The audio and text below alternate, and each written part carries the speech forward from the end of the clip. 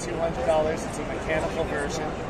Then we have 300 and 400 for other versions, which are made out of metal. And they come with uh, more accessories for this one. Okay, to sell even? Yeah, Yes, yeah. yes. Okay, very good. Thank you. Thank you. Do you want a brochure? Yes, please. Thank you so much.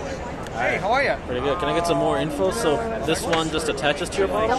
Yeah, so this is the Coravin Model 11. It's our first Bluetooth connected, fully automated system. Okay. Allows you to pour any wine you want without removing the cork. All So all right. you have to do now, it's easier than ever, is just push down, light turns green, uses argon gas to push out the wine. And then whenever you're done pouring, all you have to do is tilt it back up, remove the Model 11.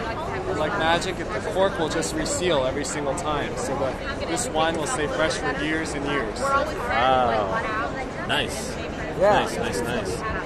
And so each one of these argon gas capsules will last uh-huh. you 15 glasses of wine.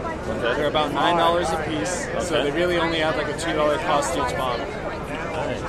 And it doesn't mess with the it doesn't mess with the taste of the wine or Correct. Yes. So um, at, we actually use that same exact gas in the bottling process, which is argon. We did that on purpose so that the wine would be uninterrupted in the whole process. So it's like a brand new bottle every single time.